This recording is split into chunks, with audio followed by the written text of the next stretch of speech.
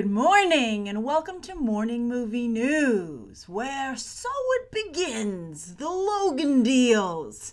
Yes, Logan was very hot out of the gate, and as a result, Hugh Jackman has gotten what maybe is the first of many rewards. But even if it's his only reward, it's definitely uh, something I don't think he would have been able to get before. Not only Logan did so well at the box office, but so well with critics, because he has got the attention of Michael Mann. And he, although Michael Mann is hit or miss, although I, am sure it also annoys Michael Mann that he was the inspiration for Christopher Nolan's The Dark Knight, his Heat film was, and that film was so successful while Heat was so not successful. But anyway, Michael Mann has been wanting to make a movie about Enzo Ferrari, um, the famous car maker, for quite some time. And it hasn't been able to work out. Christian Bale was the last, speaking of Batman, Christian Bale was the last person attached to that.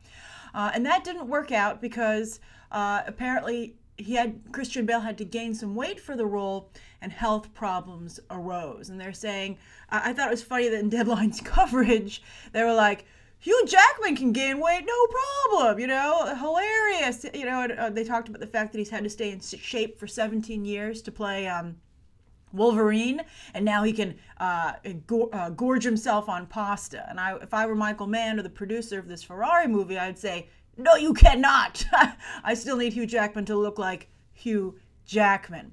Uh, I think his older Wolverine bod that he was sporting, uh, particularly towards the end of the movie when he was wearing a tank top in Logan, I think was close enough uh, to what they might need for Enzo Ferrari. So, uh, Hugh Jackman will play Enzo Ferrari, and it's the story of not only the Ferrari empire that he built as a car maker, but also his relationship with his wife. And it's a, apparently a fiery Italian love affair. And Noomi Rapace, who I think will play a fantastic fiery Italian, she's from The Girl with the Dragon Tattoo, uh, will co star. Uh, they look kind of alike, uh, Hugh Jackman and Noomi Rapace, but this sounds pretty good to me.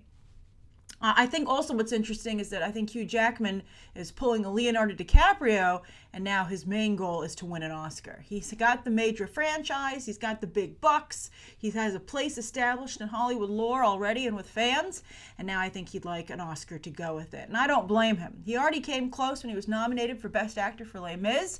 He lost to Daniel Day Lewis for Lincoln. Anytime you lose to Daniel Day Lewis, that's totally understandable and, and something of an honor, although I think the bigger honor, of course, is to get an Oscar.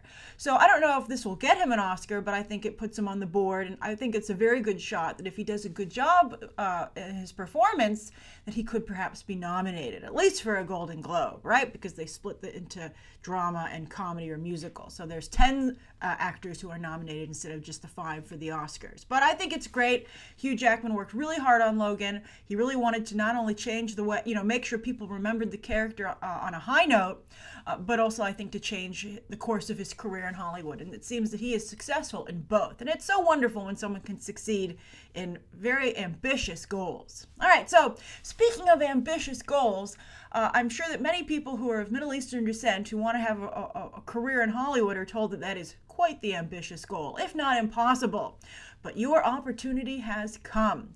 Uh, I, you know, the live action Aladdin movie is casting, and I was a big um, advocate of Riz Ahmed for the role. Uh, actually, one of you tweeted me yesterday and said, What about Riz Ahmed for Nightwing? And I was like, I'm such a big Riz Ahmed fan, I'd like him to do anything, but I think he could be Nightwing as well. He'd be a, a, good choice. But anyway, I think he kind of has that look as well.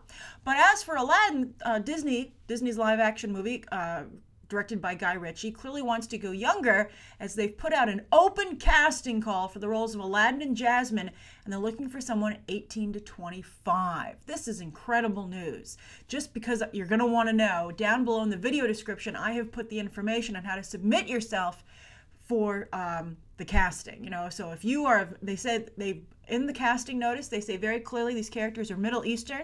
So if you are of Middle Eastern descent between the years of 18 and 25, and you can sing, you must be able to sing, and you have some dancing ability, that would be a plus. Uh, go for it because it's amazing that Disney would cast two unknowns in uh, such a high profile movie. They'll probably get a known name for the, the, genie. Uh, and also maybe somebody for Jafar, right? Uh, and uh, I think that that would probably work very well in making sure this had some star power. You know who I would get for Jafar? Uh, Irfan Khan. Uh, he's a fantastic actor. He had a small role in the life of Pi.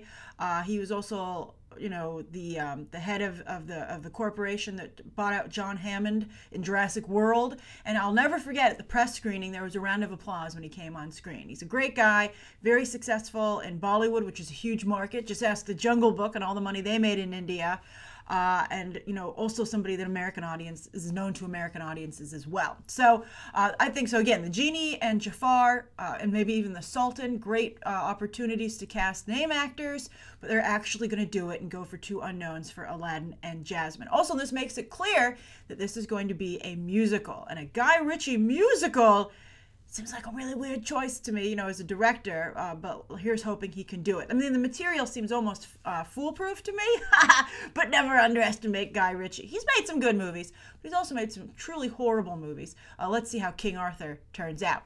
Also, what's interesting is that the rehearsals are starting April 2017. It notes here in the casting, and then also they'll be shooting from July 2017 to January 2018. That is an extremely long shoot. Maybe they're going to do some stuff on location. Maybe they're going to have have some, you know, green screen, uh, uh, you know, on a soundstage uh, shooting. But that's that's a, a, tremendous amount of time. But also, I think that means it's probably going to take the uh, untitled live action uh, release date that Disney has uh, bookmarked. That's August 2nd, 2018. That's typically a wild card release date. Guardians of the Galaxy, the first one came out uh, that weekend. Suicide Squad, Guardians of the Galaxy, of course, graduating to opening the summer this year. Uh, but I think that, you know, you might think, is Aladdin really a wild card? Well, if it has two unknown actors of Middle Eastern descent, con- considering what's going on politically in this country right now, um, and you know America still duking it out with China as the biggest box office market globally, uh, it is a little bit of a risk. So I think August is actually a great date for it. Uh, I'm very excited. I hope they find two very personable, likable actors, uh, and um, some two two careers are launched. That would be just so exciting. And it's also worth noting that uh, that say that means in 2018 Disney will have two live action fairy tales coming out as Mulan is slated for November 2nd. 2018. We're going to talk about Mulan for the viewer question. Uh, I, I actually specifically chose that viewer question because it fits so well with this Aladdin casting story. But uh, I'm curious, what do you think of the idea of using unknowns? Do you think it's a good or a bad idea? I think it's so exciting. We'll probably get a lot of uh, good publicity for the picture as well. I'm sure that has not escaped Disney publicity or the producers of uh, this live action Aladdin either. Uh, and then also, again, to remind you, I have the information down below in the video description on how to submit if you uh, if you would like to. And, and, and good luck, break a leg if you decide to submit. Now, the third story of the day is about uh, Drew Goddard, my, one of my favorite screenwriters, in a time when screenwriters don't get a lot of respect.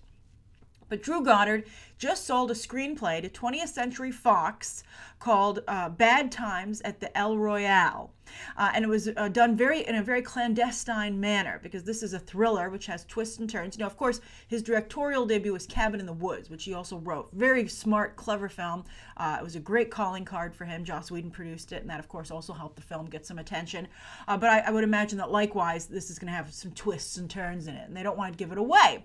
So I think, in, a, in not only to protect the secrets of the movie, but to kind of build buzz, what they did was they had couriers take tablets to the head of all the studios. You couldn't even just take it to the development department. Usually someone in development will read it first, check out and see if it's any good, and then they'll, you know, pass it up the up the up the totem pole as the higher ups take a look at it and see if they do indeed want to bid for it.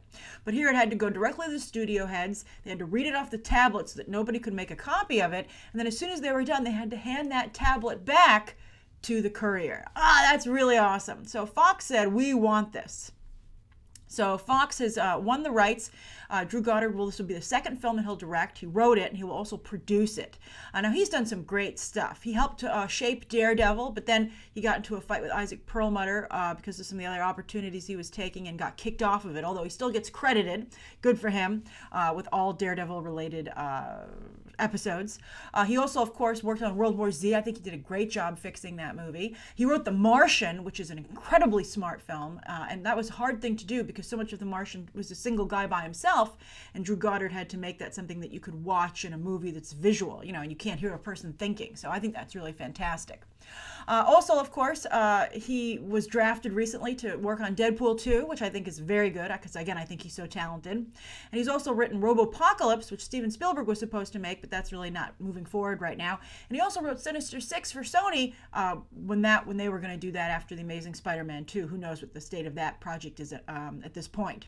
But still, I'm so happy for Drew Goddard. He's very talented. I think he's a talented director as well as a writer.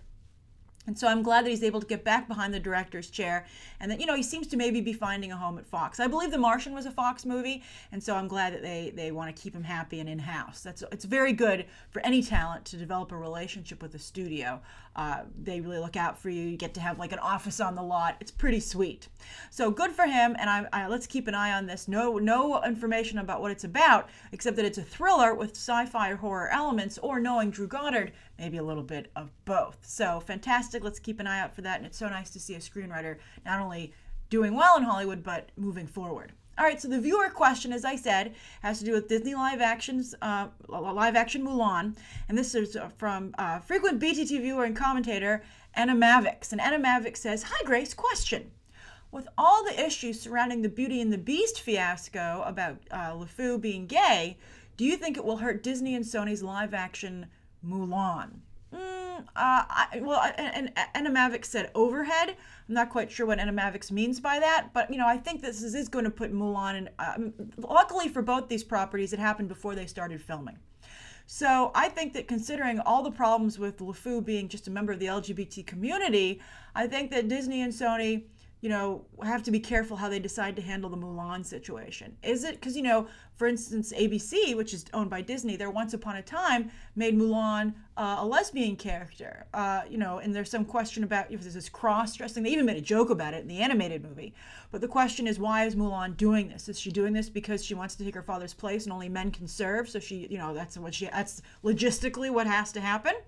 Uh, and it was something of a commentary on gender, you know, uh, from that from a perspective of who can do what and don't underestimate women, right? In the animated movie.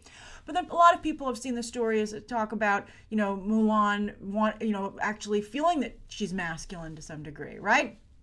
So I would think that for a family movie and for such a, a, a story, a classic story like Mulan, maybe I don't. If I were Disney or Sony, I particularly if I were Disney after what happened with Beauty and the Beast, I wouldn't want to take that route with this property. I'm not saying movies like that can't and shouldn't be made, but uh, I don't think they should be made in something that's so integral to a studio's bottom line and is such a huge investment. And also, you know, the, the original Mulan fairy tale wasn't about that. You know, so if the if, like the Chinese uh, fable, if that was what it was about, well, then you have to you have to respect that and honor that. That's something that's being layered on. Mulan is being used to promote that social discussion, right? That that that uh, the, that that uh, to try and make that it.